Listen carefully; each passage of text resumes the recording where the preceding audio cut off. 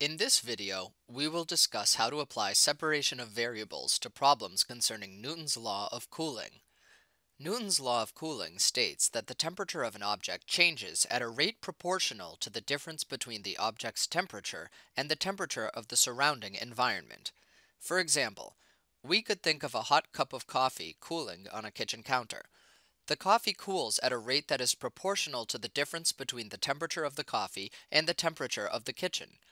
To model Newton's law of cooling, we have the equation d capital T dt equals some constant k times the quantity capital T minus T sub s.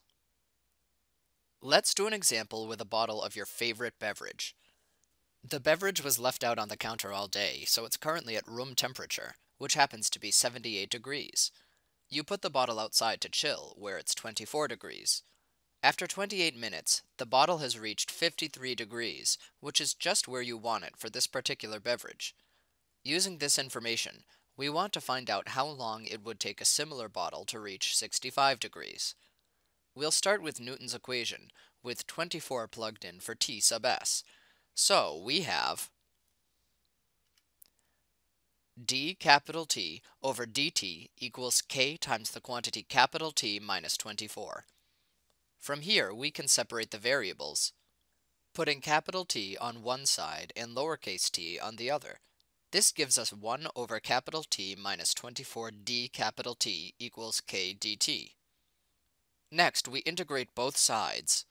So we have the integral of 1 over capital T minus 24d capital T is equal to the integral of k dt.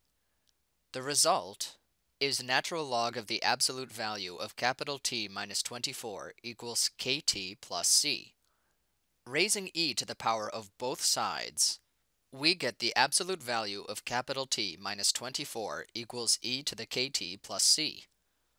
So we now have the absolute value of capital T minus 24 equals e raised to the kt plus c power. We can get rid of the absolute value by redefining the constant c as c sub 1. This gives us an equation for capital T of t, which equals minus 24 equals c sub 1 times e to the kt. Next, we solve for c sub 1. Plugging in 0 for lowercase t gives us capital T of 0 equals 24 plus c sub 1 times e to the 0 power. We know that capital T of 0 is also equal to 78, since that is the temperature of the house. So, set 78 equals 24 plus c sub 1. Solving for c sub 1, we find that c sub 1 equals 54. Finally, we need to solve for k. Our current equation is capital T of t equals 24 plus 54 times e to the kt. Plugging in 53 for capital T of t and 28 for t, we can solve for k. k is approximately equal to negative 0.0222. We now have the equation for t of t, the final equation is capital T of t equals 24 plus 54 times e to the negative 0.0222t. We want to solve for t when capital T of t equals 65. This gives us t equals the natural log of 41 over 54, all divided by negative 0.0222.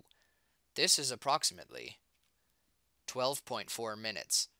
So, in conclusion, it would take approximately 12.4 minutes for the beverage to cool from 78 degrees to 65 degrees.